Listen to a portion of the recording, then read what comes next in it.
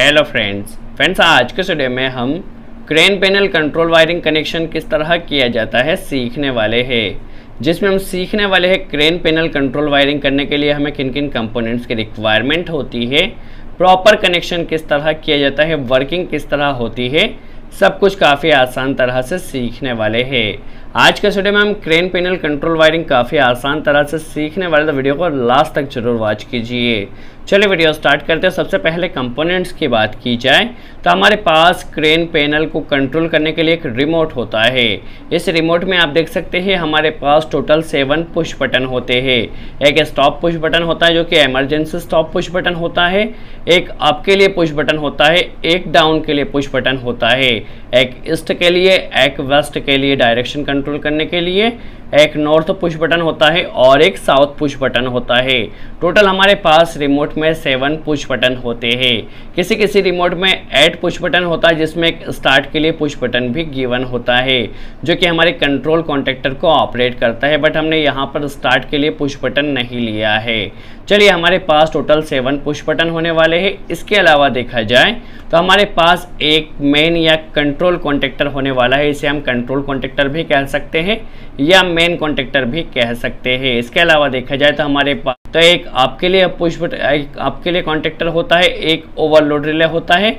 इसके अलावा एक डाउन के लिए कॉन्टेक्टर होता है। दैट मीन्स इस दो कॉन्टेक्टर से हमारी जो मोटर है, उसे हम अप एंड डाउन डायरेक्शन में कर सकते हैं। इसमें हमें बेसिकली रिवर्स एंड फॉरवर्ड करना होता है। तो एक अप के लिए कॉन्ट्रेक्टर होता है, एक डाउन के लिए कॉन्टेक्टर होता है। इसके अलावा हमारे पास एक बेसिकली कॉन्टेक्टर और ओवरलोड रिले बेसिकली देखा जाए ईस्ट के लिए होता है। ईस्ट में डायरेक्शन कंट्रोल करने के लिए एक वेस्ट के लिए कॉन्टेक्टर होता है। इसके लिए हमारे पास एक कॉन्टेक्टर ओवरलोड रिले देखा जाए तो नॉर्थ के लिए होता है और एक साउथ के लिए होता है। टोटल क्रेन में देखा जाए तो हमारे पास तीन मोटर होती है। एक मोटर अप डाउन के लिए होती है, जिनके लिए हमने यह कॉन्टेक्टर लगाया है। एक मोटर ईस्ट वेस्ट के लिए होती है, जिनके लिए हमने यह दो कॉन्ट्रेक्टर लगाए और यह ओवरलोड रिले लगाया है। एक नॉर्थ साउथ के लिए होती है, जिनके लिए हमने यहाँ पर दो कॉन्ट्रेक्टर लगाए हैं और यह ओवरलोड रिले लगाया है। तो टोटल हमारे पास तीन मोटर होती है। यहाँ पर हमने देखा टोटल हमारे पास सेवन कॉन्ट्रेक्टर होते हैं, तीन ओवरलोड रिले होते हैं। एक मेन कॉन्टेक्टर होता है। इसके अलावा हमारे पास एक कंट्रोल एमसीबी होती है। यहाँ पर जस्ट हम कंट्रोल वायरिंग सीख रहे हैं तो एक कंट्रोल एमसीबी होने वाली है। इसके अलावा लिमिट स्विच की बात की जाए तो अप और डाउन में सिर्फ़ हमारे पास एक अप के लिए ही लिमिट स्विच लगाया जाता है। क्या होता है, हम वहाँ पर लिमिट स्विच फिक्स कर देते हैं। लिमिट स्विच फिक्स करने से क्या होता है, हमारी जो मोटर या क्रेन जब हम किसी कंपोनेंट को ऊपर की तरफ़ खींचेंगे तो ये लिमिट स्विच जब लग जाएगा तो हमारी मोटर उस लिमिट से ऊपर नहीं जा सकती। तो एक आपके लिए बेसिकली लिमिट स्विच होता है, एक ईस्ट के लिए बेसिकली होता है और एक वेस्ट के लिए। हमारे पास दो लिमिट स्विच ईस्ट और वेस्ट के लिए होते हैं। क्या होता है, जब भी हम यहाँ, जहाँ तक हमारे रेलिंग होती है रेलिंग पर हम दोनों लिमिट स्विच को सेट कर देते हैं। इन दोनों लिमिट स्विच से आगे हमारी मोटर कभी भी रन नहीं करती है। तो एक ईस्ट के लिए होता है और एक वेस्ट के लिए होता है, एक नॉर्थ के लिए होता है और एक साउथ के लिए होता है। टोटल हमारे पास पाँच लिमिट स्विच होते हैं। हमारे पास डाउन के लिए लिमिट स्विच नहीं होता है।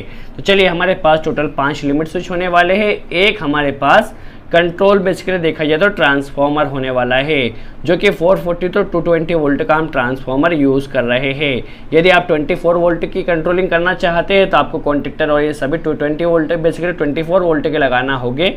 यदि आप 110 वोल्ट से कंट्रोलिंग करते हैं तो आपको सभी कंपोनेंट 110 वोल्ट के कॉन्टेक्टर लगाना होगे।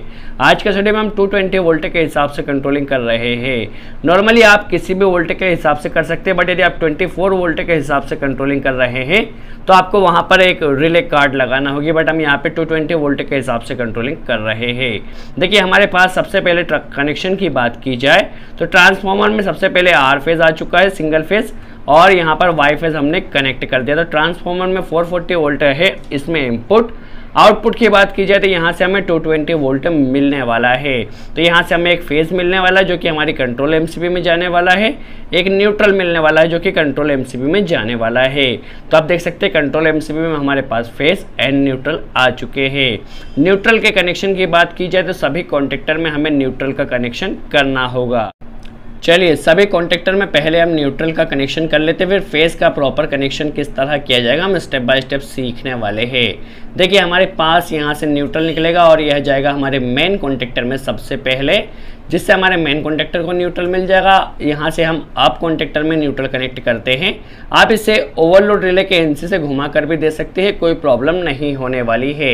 चलिए, हमने यहाँ पे क्या किया है? आप में न्यूट्रल कनेक्ट कर दिया है डाउन में न्यूट्रल कनेक्ट कर दिया है। इसी तरह east west north and south सभी जगह में न्यूट्रल का कनेक्शन कर देना है। तो आप देख सकते हैं, सभी कॉन्टेक्टर में हमारे न्यूट्रल का कनेक्शन हो चुका है। अब हम सबसे पहले समझ लेते हैं कंट्रोल वायरिंग जैसे ही हम एमसीबी को ऑन करते हैं तो हमारा ये मेन कॉन्टेक्टर या आप कह सकते हैं कंट्रोल कॉन्टेक्टर जो होता है, यह ऑपरेट हो जाता है। तो देखिए, जैसे ही मैन एम को हमने ऑन किया है हमारा मेन कॉन्टेक्टर ऑपरेट हो गया है। किसी किसी पैनल में क्या होता है? यहाँ पे स्टार्ट पुश बटन दिया गया होता है। जिसे हम प्रेस करते तब हमारा मेन कॉन्टेक्टर या कंट्रोल कॉन्टेक्टर ऑपरेट होता है। बट यहाँ पर नॉर्मली जैसे ही आम से भी ऑन किया जाएगा, हमारा मेन कॉन्टेक्टर यहाँ पर ऑपरेट हो जाएगा। अब इसी के थ्रू हमें सभी कंट्रोलिंग को करना है। देखिए, जैसे ही मेन कॉन्टेक्टर ऑपरेट होगा तो इसके एनओ से हमारी एक सप्लाई हम यहाँ पे एनओ कनेक्टर में कनेक्ट कर देते हैं। जैसे ही मेन कॉन्ट्रेक्टर ऑपरेट होगा तो ये एनसी बनेगा और यहाँ से हमारी सप्लाई निकलने वाली है। और यह जाएगी हमारे एमरजेंसी स्टॉप पुश बटन में। आप देख सकते हैं एमरजेंसी स्टॉप पुश बटन में गया है। जैसे ही हमने एमसीबी ऑन किया कंट्रोल कॉन्ट्रेक्टर ऑपरेट हुआ, यहीं से हमारे पास इमरजेंसी स्टॉप पुश बटन में आ गया है। क्या होता है, एक बार जब हम इमरजेंसी पुश बटन को प्रेस कर देते हैं तो हमारी सभी कंट्रोलिंग स्टॉप हो जाती है। तो इसीलिए सबसे पहले हमने एमरजेंसी स्टॉप पुश बटन में कनेक्शन किया है। एमरजेंसी पुश बटन में एन सी कनेक्ट होता है। तो इस एन सी एलिमेंट से यहाँ से हमारी सप्लाई निकलेगी और यह जाएगी।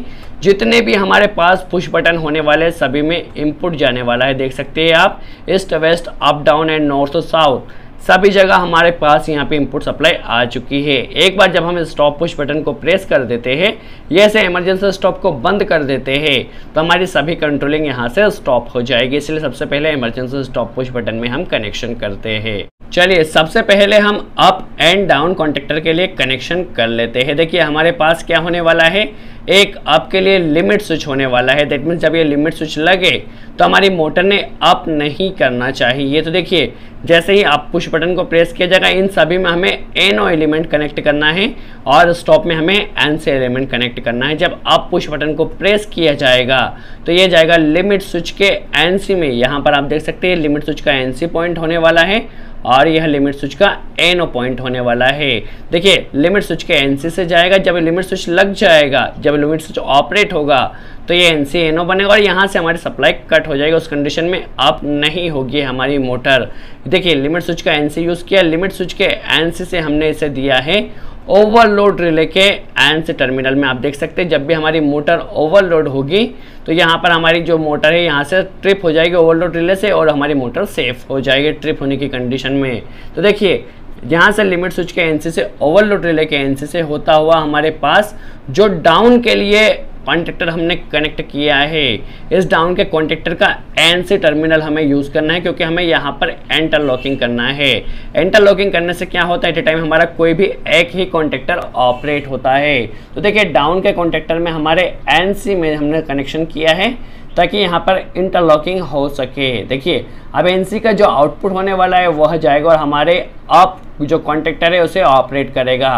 तो आप देख सकते हैं, आप कॉन्टेक्टर में न्यूट्रल हमने डायरेक्ट कनेक्ट किया है और जो फ़ेज़ होने वाला है, उसे हमने लिमिट स्विच के एनसी से घुमाया है ओवरलोड रिले के एनसी से घुमाया है और डाउन कॉन्टेक्टर के एंस से घुमाया है, जिससे यहाँ पे हमारी मोटर एक लिमिट से ज़्यादा ऊपर नहीं जाएगी।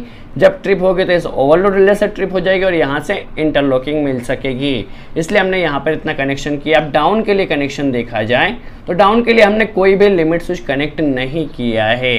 तो देखिए डाउन के लिए हमें क्या करना है? यहाँ से सप्लाई हमारे डाउन पुश बटन से निकलेगी और यह सिंपल जाएगी हमारे पास जो अप में कॉन्टेक्टर है। अप कॉन्टेक्टर के एंस से होता हुआ जिस तरह हमने यहाँ पर इंटरलॉकिंग की है, उसी तरह यहाँ पर भी इंटरलॉकिंग हमें डाउन के लिए भी कर देना है। तो डाउन के लिए हमने क्या किया है? आपका एनसी को यूज़ किया, आपके एनसी से हमारी सप्लाई निकलेगी। जब हमारा आप कॉन्ट्रेक्टर स्टॉप रहेगा, उसी कंडीशन में डाउन कॉन्ट्रेक्टर ऑपरेट होगा। इस चीज़ का आप ध्यान रखिए। देखिए, आपके लिए सप्लाई निकलेगी और यहाँ से हमारे इस कॉन्ट्रेक्टर को ऑपरेट करेगी। एट ए टाइम या तो हमारा आप कॉन्ट्रेक्टर ऑपरेट होगा या डाउन कॉन्ट्रेक्टर ऑपरेट होगा, क्योंकि हमने यहाँ पर इंटरलॉकिंग किया है। तो आप देख सकते हैं, हमारे अप एंड डाउन कॉन्ट्रेक्टर का कनेक्शन हो चुका है। लिमिट स्विच से कंट्रोल भी यह हो चुका है। देखिए, वीडियो थोड़ा लंबा ज़रूर हो सकता है, बट वीडियो को आप केयरफुली वॉच कीजिए। आज के वीडियो में हम काफ़ी आसान तरह से सीख रहे हैं। देखिए, अब ईस्ट के लिए और वेस्ट के लिए हमें कनेक्शन करना है। यहाँ पर हमने दोनों के लिए लिमिट स्विच कनेक्ट किया क्योंकि रेलिंग के ऊपर लिमिट स्विच को हम कनेक्ट करेंगे, जिससे एक लिमिट से ज़्यादा हमारी मोटर ईस्ट में भी नहीं जाएगी और वेस्ट में भी नहीं जाएगी। सबसे पहले ईस्ट की बात की जाए तो जैसे पुश बटन को प्रेस किया जाता है तो ईस्ट के लिए जो हमने लिमिट स्विच कनेक्ट किया है, इस लिमिट स्विच के एनसी में हमें कनेक्शन करना है। क्या होगा जैसे लिमिट स्विच ऑपरेट होगा तो हमारी मोटर यहाँ से स्टॉप हो जाएगी क्योंकि एन एनसी एन बन जाएगा।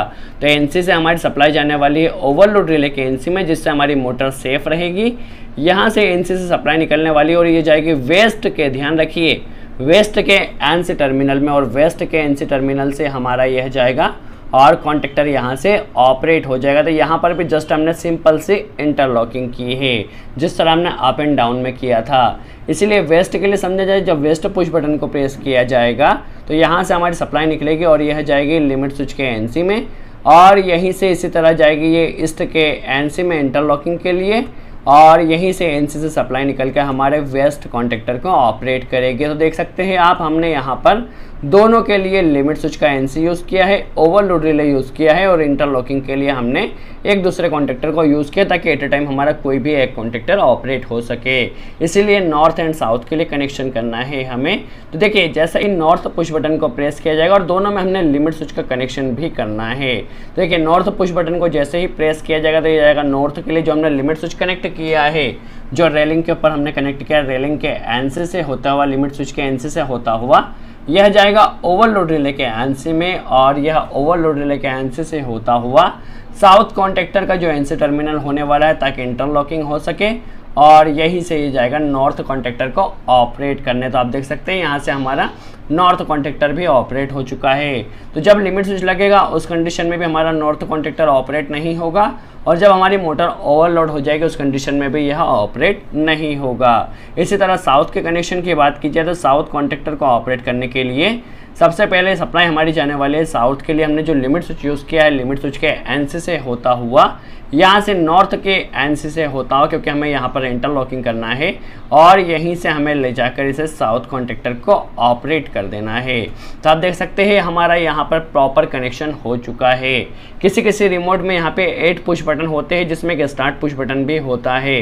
तो स्टॉप के आगे यहाँ पर स्टार्ट लगा दिया जाता है, और जब स्टार्ट पुश बटन को प्रेस किया जाता है, तब हमारा कॉन्टेक्टर ऑपरेट होता है, बाकी कनेक्शन सेम होता है। सो आई होप आपको क्लियर हुआ हो क्रेन पैनल कंट्रोल वायरिंग किस तरह की जाती है। यदि आप पावर वायरिंग के ऊपर भी वीडियो चाहते हैं या और भी ज़्यादा डिटेल में कोई आपके डाउट हो तो कमेंट से मैं ज़रूर पूछें, हम पूरी कोशिश करेंगे। उसका जवाब दे सके और उस टॉपिक के ऊपर वीडियो बना सके। यदि वीडियो अच्छा लगा हो तो लाइक का बटन ज़रूर प्रेस करें। सो आज के लिए इतना ही।